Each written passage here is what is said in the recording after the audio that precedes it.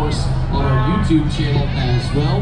DCTV Sports has been broadcasting live local sports for the last two seasons. And of course, if you see the parade float today, make sure you smile. We've got a Faces in the Crowd camera going around today. So that'll be up on our YouTube channel coming up after the parade tonight as well. As well. Behind that is the Delaware Township Fire and Rescue, located in the corner of State Route 18 and the Bend Road. They've been providing fire suppression and quality EMS care since 1995 for the township and surrounding area. Engine 1203 is the first out truck for all house fires. And we welcome Family Christian Center to the parade tonight.